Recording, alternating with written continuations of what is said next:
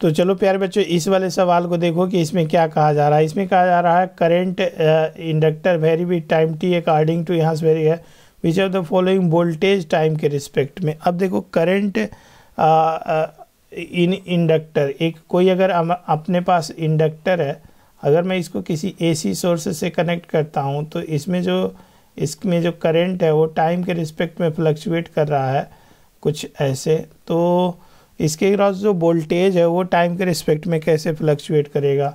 तो इसके क्रॉस जो वोल्टेज भी है, किसी भी इंस्टेंट में लिख सकता हूँ। आई होप कि आपको फार्मूला याद होगा। Voltage voltage across the inductor is equal to minus L D I over D T D I over D T और D I over D T क्या है? कि D I over D T जो है, वो current current और time के बीच अगर प्लॉट बनाया जाए तो उसका स्लोप है। ये थीटा है दिस इज़ द थीटा। तो D I over D T D T is equal to the value of tan theta slope that is क्या है? स्लोप है। ठीक है ना? तो इसका मतलब ये हुआ कि अगर मुझे वोल्टेज और टाइम में अगर मुझे वोल्टेज को देखना है कि कैसे वेरी करा टाइम के रिस्पेक्ट में तो बोल जैसे जैसे स्लोप वेरी करेगा वैसे वैसे वोल्टेज वेरी करेगा। तो यहाँ से तुम ये जो ग्राफ अपना दिया हुआ है इस ग्राफ में, यहाँ से लेके यहाँ तक, ठीक है ना? इस पॉइंट का मैं नाम दे देता हूँ। पॉइंट ए से पॉइंट बी तक देखोगे।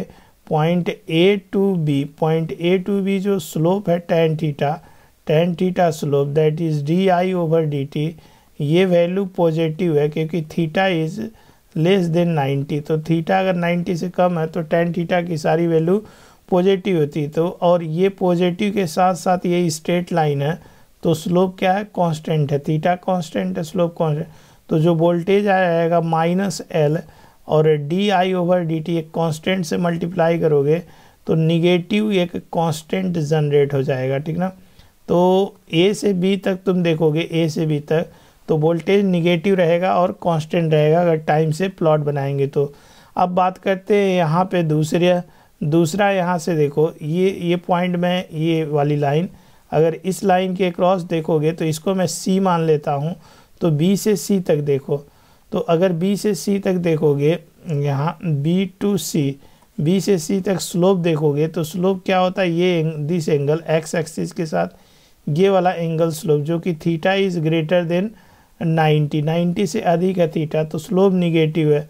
तो यहाँ से जो टेन थीटा की वैल्यू है टेन थीटा दैट इज़ यहाँ से D I over D T that is negative है।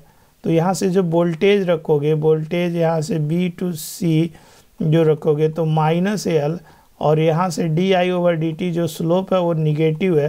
तो एक ये निगेटिव और एक निगेटिव ये तो प्लस एल और आ, कुछ कांस्टेंट यहाँ से जनरेट हो जाएगा ठीक ना? तो ये जो वैल्यू है कुछ निगेटिव कांस्टेंट और यहाँ से पॉजिटिव कांस्टेंट ठीक है?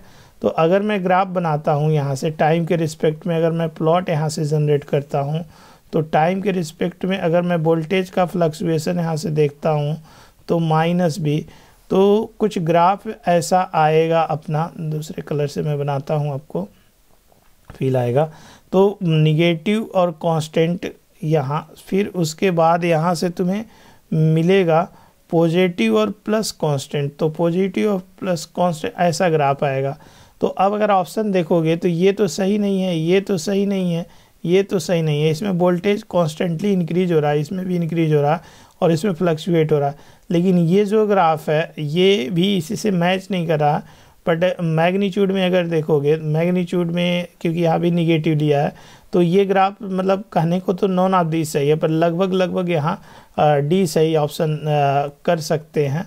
मतलब मोर प्रिसाइज अगर अच्छे से बात करोगे तो नॉन ऑफ़ दिस